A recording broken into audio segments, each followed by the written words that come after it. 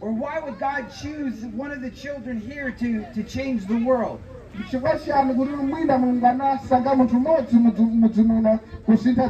But the fact is that God is willing to choose whoever He wants.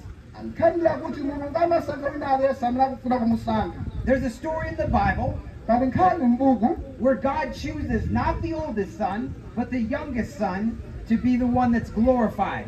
Ah, nkhani kuti pali nkhani m'buku limene nkhani kuti mulungu amasankha ochepera amene nkhani kuti mwina ngosaleka konse And the Bible says the older will serve the younger.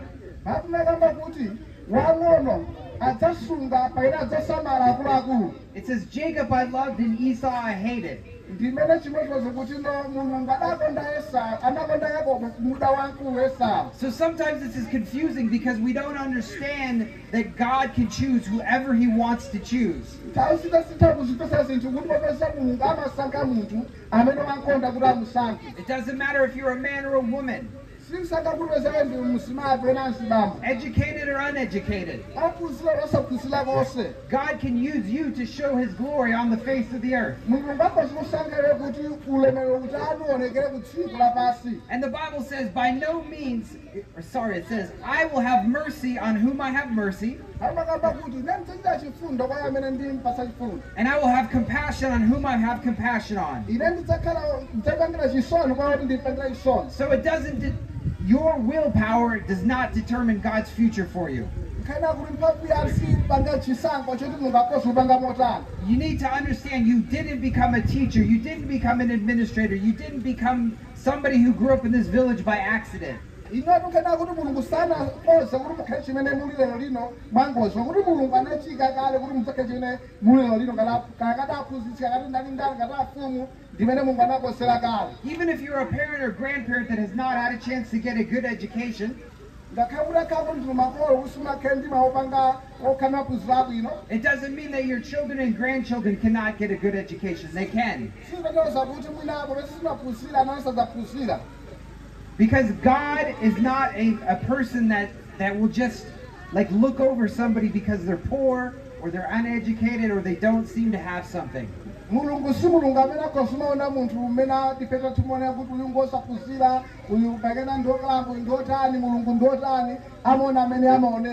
And again, it says, For this very purpose, that I've raised you up so that you might show, that I might show my power in you.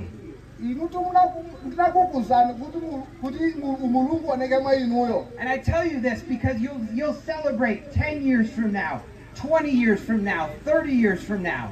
ndinakena kuti uz- muzaka 10 zikupitazi 20 30 zikupitazi mudzakhala Some of these children in the village, kuti ana ena mudzi munomu? Some of the children from the surrounding villages, kuti ana ena midzi inayi you you'll be able to say, I knew that child when they were this this tall. kuti mudzata kuti ndikuona mwana uyu kumene achokera kuti chipereka kukhala chimene ali ndi chilero lino And because the way it works is they will be successful chifukwa cha ntchito adzakhala tinoyi kukhala ndi kuthekera and they will bring others in that will be successful. ndipo adzapitisa ena kuti akhale ndi kuthekeranso And this area will be be used by God to glorify him ndipo dera lidzakhala liku- likugwira ntchito ndi mulungu kuti likutani As- as well as raise up the next generation of leaders. ndipo kudzakhala kuthekeranso kosangalatsa tsogolo ena akuthekera So I want you to understand this isn't just a school to get an education. Khana kuti sikumene timakasiya kuti ino ingotsiriza kuti andaphunze maphunziro kukhala maphunziro chabe This is a school that will change the whole village. Iyi ndi siku imene khale lidzasintha miyoyo ya anthu ambiri and it will change all of this area. Ati lidzasintha dera linonso and it will change all of Malawi. Lidzasinthanso mwinanso malawi yense I can promise you there will be people who are famous and be known around the world that come from this area. padzakhala anthu akudziwika mwina kuchoka pa siku imene kuti adaphunzira siku limeneli koma la anthu apamwamba mzaka zikubwerazo My goal in life cholinga changa moyo wangatu is for my children and grandchildren zakuti ana anga ndi zidzukulu zanga. to be more educated, to be smarter than me, to have more of a legacy than me. And that's how we should all think. How can we prepare the next generation to be successful? Too many times in certain cultures, we curse those that are successful because we're jealous.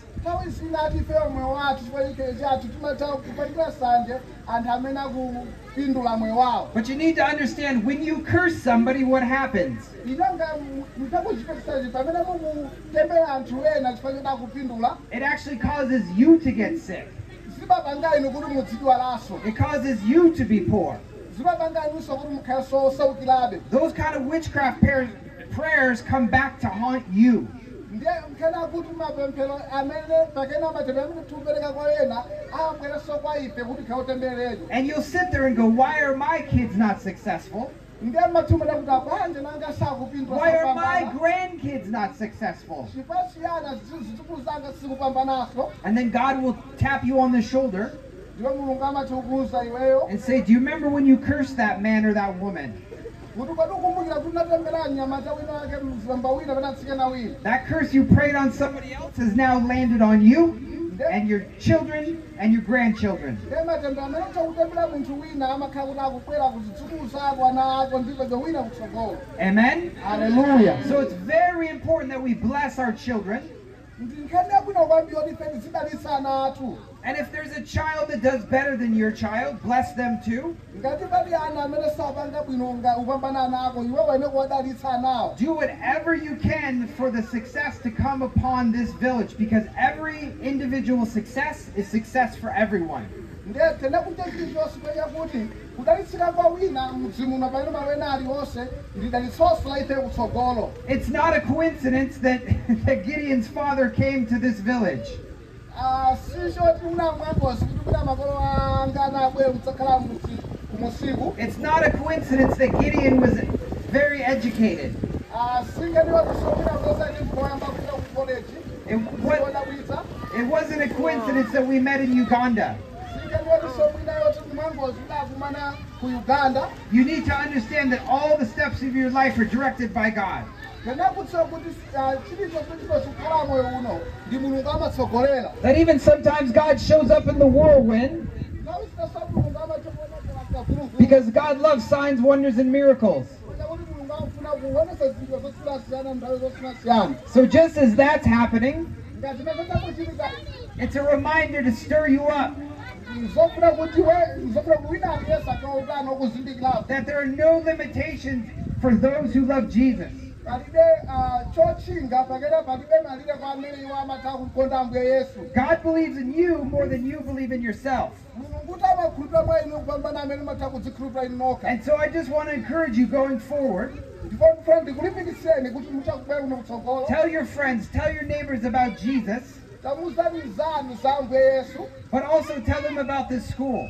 komanso kumuzawo za sukulu Because every successful student in this school means you're successful. wina aliyesa akhoza kupambana pa sukulu iyi kena kuti inunso ndili mukupambana Because in the body of Christ, we are one. chifukwa mthupi la ambuye yesu tonsefe ndi pamodzi That there's no separation for those in Christ Jesus. Uh, yesu And God made you individually in a specific way, whether you're a boy or you're a girl.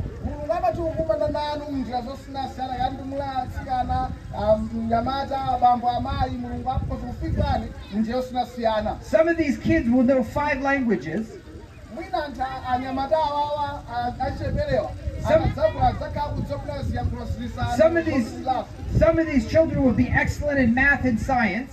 ena nawo adzakhala oti mwina wochita bwino kumbali ya masamu ndi zina za sayansi Some of them will be good at reading and writing.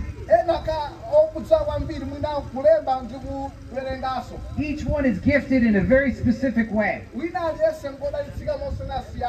So I just would ask on behalf of myself and Gideon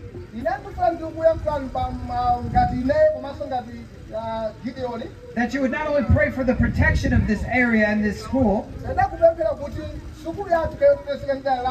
but that the, for the protection and the success of every student that goes here.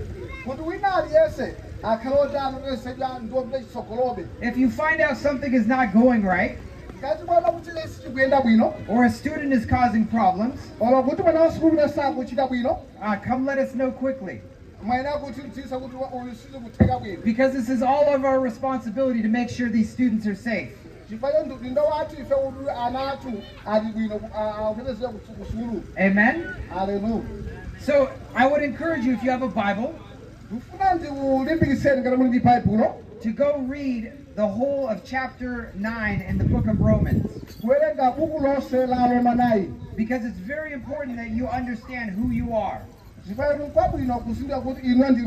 That you are chosen as a son and daughter of God before the earth was formed. Pakuti inuyo munasankhidwa mulungu atas- asanange dziko lapansi That He has put inside your heart the plans that He has for you.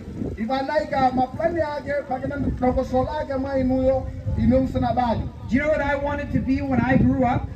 mukudziwa chimene ine ndingafuna kukhala ndili wachichepere I wanted to coach American football inetu ndingafuna kuti ndizikhala kochi wochuka ku america and I wanted to be a secondary school science teacher. ndingafuna kuti ndidzakenso mphunzitsi wophunzitsa za za sayansi ku secondary But I was not very good at math koma sinali woti wochita bwino kumbali ya masamu and I was okay at science. koma sayansi ndingachitako bwino ndithu And God had another plan for my life. koma mulungu anali ndipo ndine moyo wawo And so He led me to become a pastor. ndipo anatsuka kuti akakhale mbusa None of my friends can believe I am a pastor.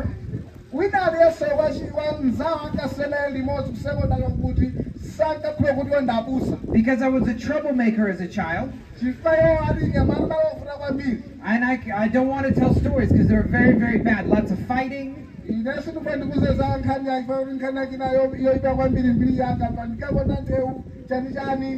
And lots of many other things that we won't, we won't discuss publicly. But God chose me, the youngest child in my family, to come to Malawi and to travel the world and tell people about Jesus. I never wanted to leave my, my city safuna kuti sankafuna achoke mdziko lakwawo mzinda I didn't even really travel until I was a lot older. ndichoke kupita kuna kulikonse mpaka pa- mpaka na atafika eh, eh, msiku wakulu ndithu And I didn't even become a pastor until I was 30 years old. ine sindingafuna kuti ndidzakhala wambusa koma patatha zaka 30 ndimene ndamba kuchita za ubusa But God had spoken to me when I first got saved, ndipo mulungu anatha kundiyankhula ine ndimene ndikapulumutsidwa and I didn't tell anybody, aliyense but I was sitting in church, koma ndali mchechi and I heard this voice very clearly say, You're going to do the same thing as that man up there. ah, ali mchechi anapema kuti ah, inu timkosa kuchita so ngati zimene abusa kulalika mkosa kuchita Now, I was very ignorant. iwowa anali amwano ndithu I thought when you get Well, I thought when you get saved, your job was to rise up in Christianity and then everybody becomes a pastor. ankana kuti ankakhola kuti mwina iwo akatha kuti apulumutsidwa adzakhala kuti mwina basi akukula kudzakhala ngati busaso But not everybody becomes a pastor. koma siwina aliyense amakhala busa When, uh, when I first told a, a minister this, he started laughing at me. Ndipo ntamba ukapisa kugwina kwanga namkundiseka And he said, No, no, brother, that's that's the Lord speaking to you. ndipo anati akuyankhula ndi mulungu kuti ukhosa kuchita ngati zimene ukufuna kuti ukhala busa and so after that I didn't I didn't like tell anybody about this. Uh, Kamba kuti anthu ena ankasekaseka atatha uh, kumva mawu kuti no akulu kukhala busa sanuza wina aliyense za chimenechi But I decided if God wanted me to become a pastor, he'll make it happen. Ndi ah, ngati mulungu mufuna kuti ndikhale mbusa anthu ndikhale mbusa. That I was willing to do what he wanted me to do, ine ndi kuchita zimene mulungu mukufuna but that I didn't even understand what it meant to be a pastor. kuti ndidzakhala mbusa. And one of my favorite verses in the Bible it says, "The human mind plans the way, Ah, vesi imene timayikonda mbaibulo ndikuti mapulani athu koma mulungu ndi plani yake but the Lord directs the steps." Koma mulungu athu amatitsogolera And I kept asking people, "What is my calling? What am I supposed to be doing?" ndipo ine ndinkayankhula anthu kuti kodi ineyo cholinga chimene mulungu ali ndi ndi chake Because I didn't know and they couldn't tell me. ndipo sindikakula kuti unasakhoza kundiuza And what I found is I just needed to take the next step. and the next step. ine ndinangoso kuti amuna nditenge gawo pakena nditondo kuti ine kuti ndipange chiti chenicheni And for those, for me, those steps were going to college and then going to a Bible college, ndipo ndinapita ku skulu ya ubusa serving in a church, and and just work, serving for free. ine ndinkangotumika osandapakena kalikonse And then many years later of service, ndipo nthawi yambiri ndikutha kutumikira that's when I was offered my first paid position. Ndipo nakha ndiku anandikazika kuti ndidzida nditukena kake kwa ndidzisamalira ngati pa banja langa Now I tell you, I was 30 years old the first time I was uh, ordained as a pastor, ndipo ndidakhazikira ngati mbusa but the first time I got paid was when I was 40 years old. ndinayamba kulandira sala ngati mbusa ndili zaka 40 So I just want you to understand it. 20 years old, God told me I was going to be a pastor. ngezaka 20 zili- zili kumbuyozo ndi zimene mulungu anandiuza kuti ine ndidzakhala mbusa koma ndapitaso zaka 20 kuti ndidzakhale mbusa oti kenakake So if God's spoken to you about anything, ndiye ngati mulungu akuyankhula kenakake mwa inuyo understand that of course you need to pray. tachipizisani komabe mukufuna kupemphera Of course you need to obey God. komabe mukufunira kuti mumvere mulungu ndithu And of course you need to take action. Ino mwena kutengaponso gawo loti chinthu chichitike But God has already spoken it to you, so you know it's going to happen. ngati mulungu anakuyankha kuti mudzapanga mudzakhala chimenecho ati kulota kati masiku mpenya ino mudzakhalabe In the same way, I know that inventions will come out of this school. chimodzimodzinso kuti zambiri zidzachitike zidzachoka pa sukulu zabwino And engineers and scientists. Uh, Kakati mainjiniyazi enaso za sayansi And this may sound funny to you as a preacher, izi zimukozimazona ngati kuti nozosangalatsa kwa- kwambiri but I'm okay if there's no pastors that come out of this school. ine uh, is- iso- ziliko- zili bwinobe ngati mwina mbusa sangapezeka kuchoka pa sukulu yathu Because every one of you that's a man, every one of you that's a man, wina aliyense amaphunzitsa kuti munthu and if you have children or grandchildren, you're the pastor of your home. Ngati kuti inuyo muli ndi zidzukulu pakena muli ndi ana mukozokhalabe mbusa wa banja lanu And you need to position your family to be as, as successful as they can, more successful than you ever were. andi ndikumalithandizira banja lanu kuti khale loti lopindula chitsogolo kupambana amene muna alili kumbuyo And of course, you need to challenge them and discipline them.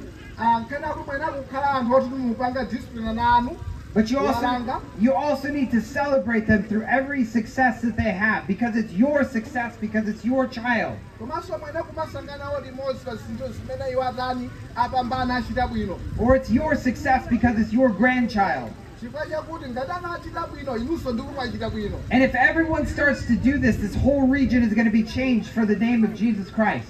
Ngati uh, mudapanga zimene zidapanga zimenezo latino ndipo kukhala otani losinthika kwanthunthu And then this village will be known in America ndipo mudzi uno ukadziwikanso mwina kunja kwa america because of who's come out of here. chifukwa cha anthu amene achoka kuno Amen? haleluya So let me pray.